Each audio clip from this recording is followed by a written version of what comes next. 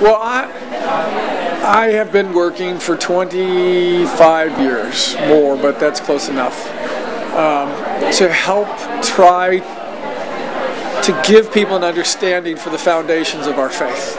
So, who is God? Why should we serve Him? What does He love? Um, how do we live in this world? How do we live a life that honors Him? How, you know, in simple little livable expressions to help people who may not be motivated to research and study, but who could take some of the seeds that I offer and then kind of grow them and develop them and grow up to the greatness of God and the sovereign God and to the intimacy of God and this vulnerability that He has with us and, and, and grow into that in a, in a cultural, gifting, organizational, appropriate way that honors God in their life. So yeah, I, have spent, I write, I, all of my material is, is within that um, framework that I work with.